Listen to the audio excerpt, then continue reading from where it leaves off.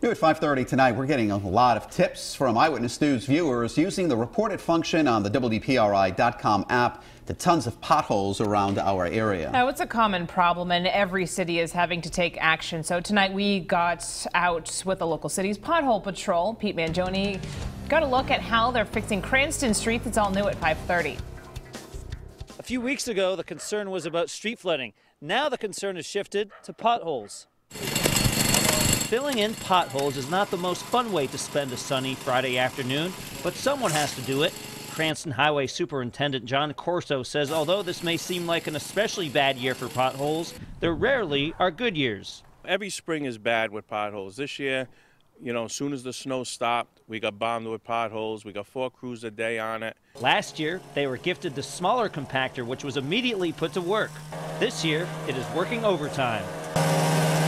It's light, the guys can lift it, you know, easily on and off the truck, and it seems to work well.